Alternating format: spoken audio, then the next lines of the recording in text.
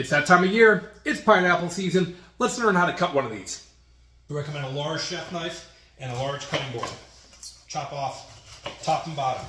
Don't be shy with how much you take off. You want it to sit level and then cut inside the splines. It might feel like you're taking a lot off, but you need to get to the inside of those splines because they're unpleasant to eat. Remove all the panels. Then cut pineapple in half through the core. Make a channel cut or a V cut, pulling that core out. This part is of course unpleasant to eat.